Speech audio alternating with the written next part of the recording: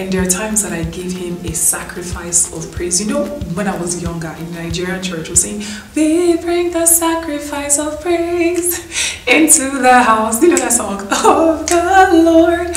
Hallelujah. We bring the sacrifice. I mean, young, I'll be like, Yes, we bring a sacrifice. Until I grew up and I was reading it in the scriptures and I actually thought about it a sacrifice. You know, there are some things in the Bible, there are things that are like oxymorons. You're like, wait. It's like in Romans 12 when he was asking for a living sacrifice. Do you know what that means? Have you seen a sacrifice? When I think of sacrifice, I think of suya. Like it's burning, but instead of the sacrifice to be dead, is living. And it says offer you as a living sacrifice. Ouch. Hmm.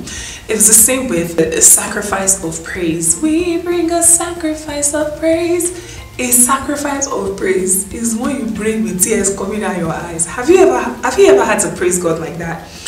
Oh my God. I've been weeping. Oh my God, this hurts. But you're still so good. That's a sacrifice of praise.